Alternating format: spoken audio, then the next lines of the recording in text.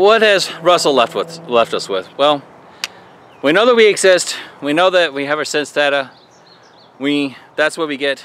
Uh, that's beyond a shadow of a doubt.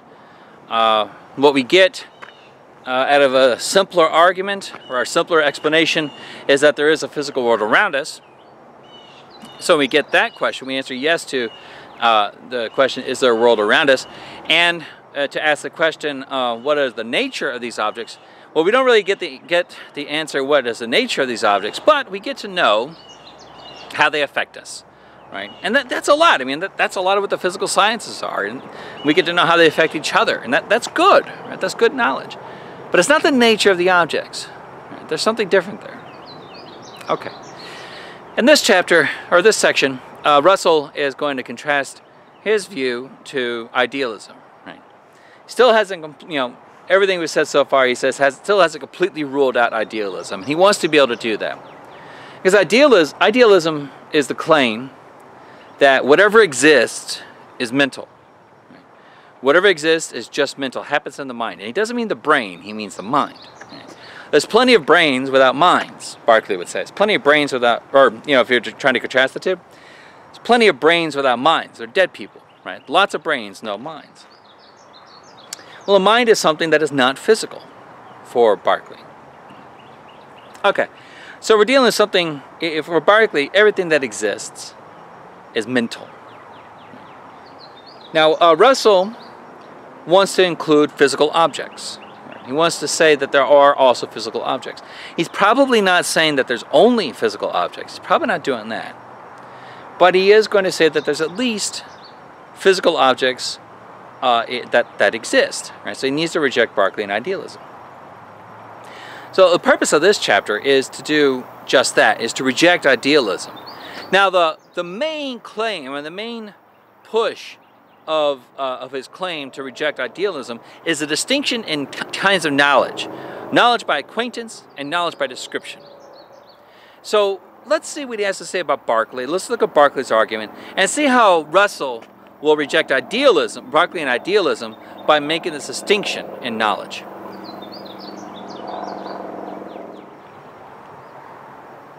So I'm out here in this park, and I'm experiencing a lot right? I see colors, right? You see this vivid green behind me. I hear the birds chirping. I hear some cars off in the distance. Uh, I see clouds, blue sky. I'm about to write a song. It's so pretty out here. uh, now I'm getting a lot from my senses, right? That's a lot of knowledge from my senses. Now, believe it or not, this knowledge from the senses is actually what motivates Berkeley to say that the only thing that exists uh, are, are, mental things, right? Now he's going to subscribe to some to uh, to idealism. Now the reason why he goes this route is because he thinks all knowledge is gained from the senses, from empirical observation. And if it's not empirical, for Berkeley, it doesn't exist, right? If I can't know about it, it doesn't exist. Now, now this is, you might say it's kind of an extreme reaction, but uh, this is uh, in response to a view called rationalism. Now the rationalists thought that there were such things as innate ideas, right?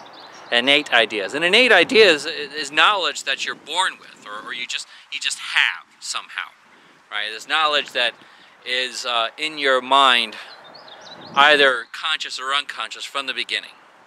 You don't acquire knowledge through experience, all right, or not at least not all knowledge through experience. There's some knowledge that you're just, in a sense, born with. Right? You just have it. Well, there's a movement uh, against rationalism. And there's lots of folks that, I mean, so first of all, rationalists disagreed with each other as to what this innate knowledge is and what his conclusions are.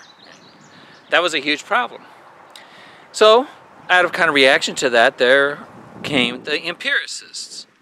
Now, the empiricists thought that all knowledge begins and ends with empirical observation. What you see, taste, touch, smell, and hear. That is where your knowledge comes from. And if you can't find your knowledge, if you can't trace that knowledge, any knowledge that you have, back to that sensory information, then it doesn't exist. It's not real. Okay. So this is, you know, Berkeley subscribed to this idea. He, he was an empiricist through and through. He took it very, very seriously. So he said, look, you know, if, if these physical objects exist, if there are physical objects, then we can know about the physical objects, right? And if we know about these, if we know physical objects, then we know physical objects through experiences, all right? Now, what's the problem? Well, as Locke has taken great pains to show us, and Berkeley does the same thing. So does Descartes before Berkeley. So does you know Plato uh, points to some problems here too. Well, there's a there's a gap between what we get from the senses and the physical objects. In fact, you know we we say, well, you know, there's something underlying these senses with this sensory information. There's something here, right, that's causing that sensory information. And this is where Berkeley steps in and says, look, you say that there's something underlying what happens uh, uh, empirically, but I'm only counting what happens empirically. That I mean, that for me, that's that's what that's what I can know. That's what's going on. And you know, the minute you say there's something beyond what's empirical, sounds kind of spooky. Sounds like you're talking about I don't know what you're talking about. You don't know what you're talking about because you know you can't describe it. I ask you what it's like, and you can't tell me what it's like because it's not sensory. You don't have it from the sensory information. You say, well, it's just it's beneath what the color. It's beneath the sound.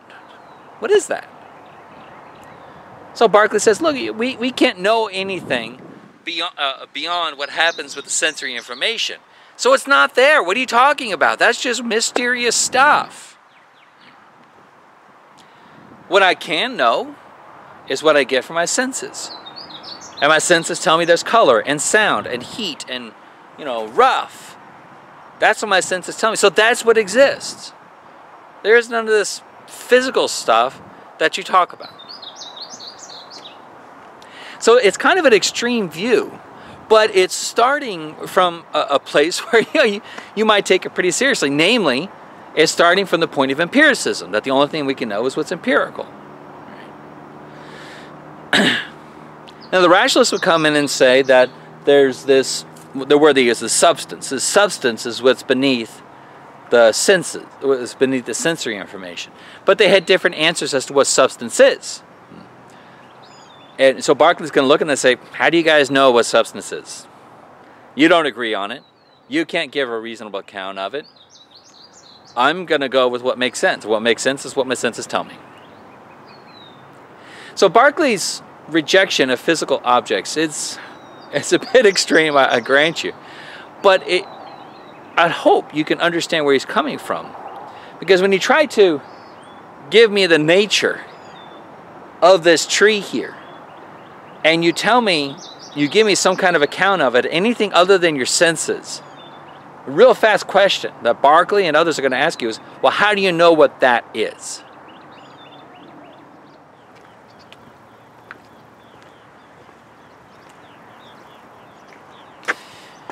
so obviously Russell uh, doesn't accept idealism, and probably neither do you.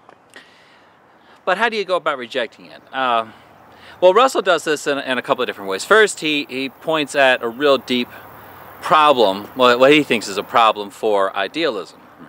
And he's hinted at this already in chapter uh, 2, when he talk about the existence of matter.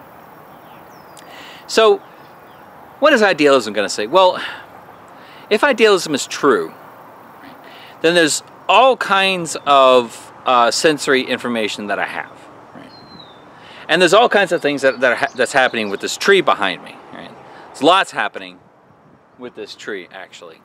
Um, this tree is engaging in photosynthesis. This tree is absorbing water from the ground. This tree is absorbing nutrients from the ground. This tree is uh, growing ever so slowly in front of my eyes. Mean, that, that, that's an important point is this tree is growing. Right? Uh, this tree is, uh, um, you know, is alive. It has things in it, right? It's got all kinds of microbes on it. This, this, uh, you can't, I don't know if you can see this too well, but no, you can't see this too well. Um, but there's, there's stuff growing, there's some kind of moss or something growing on the bark of the tree. Now, if idealism is true, all of that is mental. Right? All of what's happening with that tree is mental. Now, well, that's a lot that's happening, right? That's a lot that's happening in that tree. And by the way, it's a lot more than I can keep track of. There's an impossible number of, a really huge number of cells in this tree of which I am not aware. I don't know the number of cells in this tree. And yet somehow that's happening in my mind. Somehow all of this is happening in here. Hmm. The causal direction of what's happening in this tree is from my perceptions to the tree. And that seems a little backwards, right? It seems like what should be happening with the perceptions, you know, even given the nature of what a perception is, right? A perception is being affected by something else. That tree, what's happening in that tree should affect my perceptions and not the other way around.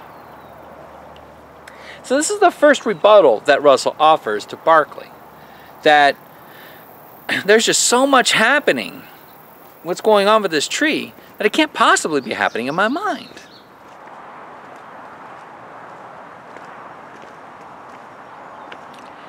So Russell's given us a strange consequence of idealism.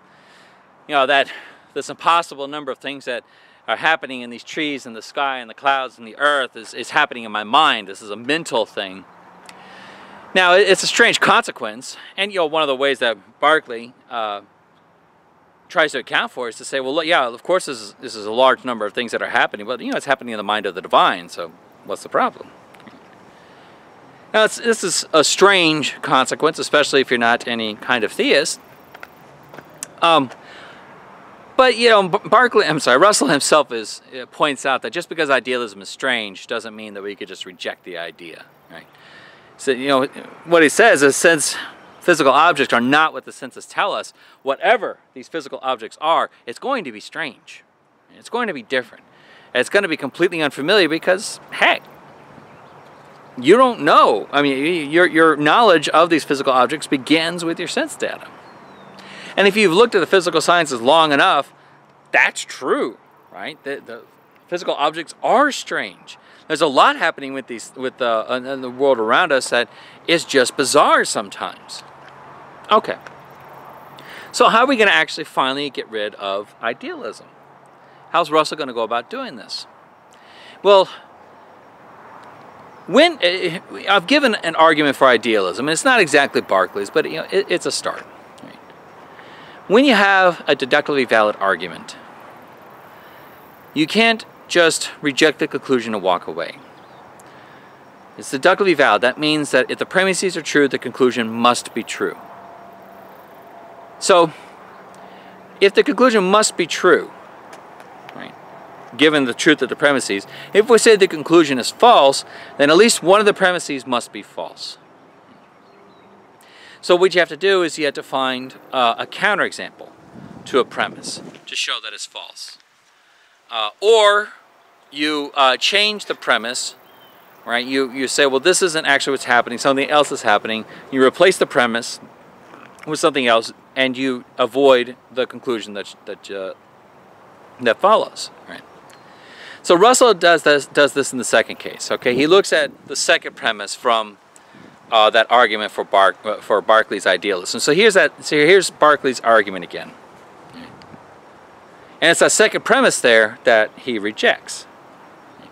And the second premise is, you know, if uh, I, if one knows physical objects, then one knows physical objects through experience. All right.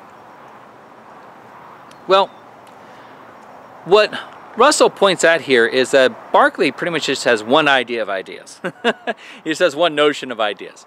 And Russell says that, well, there are two, right? Because of what happens with knowledge, right? There's two things that happens with, not, with knowledge, right? There's the object that's apprehended by the mind, and this is something he, he points out, is that what a function of a mind is to grasp objects, to be changed by the world around you, right? You do have to uh, your mind has to conform to reality, not the other way around. Right? So there's the object that's apprehended by the mind, and then there's the act of apprehending it. So what's going on? Well, this is the difference between the object and the apprehension. So what's the object? The object is the real thing. Right? So there's this tree uh, behind me to over my left shoulder. Right. Now, my mind doesn't grab the object, right? but I do grab color. Sure. Now, the color is produced by a variety of influences, okay? So we've got the electromagnetic radiation, we've got the atmosphere, we got what happens when I look at it and it hits my optic nerve and the chemical the chemical reaction happens in my brain and everything else that happens back here in the back of my brain. All that's involved in the color. That part's not mental. That part's out in the world. What is mental, what is in my mind is the actual act of me of me uh, of my awareness of having that object of knowledge. Right? That's the awareness of it. So uh, I am looking at some leaves right now. Right? There's the object. There's the color of the leaves. That's the object. And there's a, my awareness of me you know, mentally apprehending that object. Or I'm sorry, that's there's my awareness of me apprehending that object. I'm mentally apprehending. There's that awareness of me apprehending that object. Right. That awareness, that's mental. That's what happens here. So again, what Russell's pointing at here is, is he's really trying to give uh, give the credit due to the act of perception. That there's the object that I'm perceiving, and then there's the awareness of the perception. All right. He's trying to get the causal direction correct. Okay.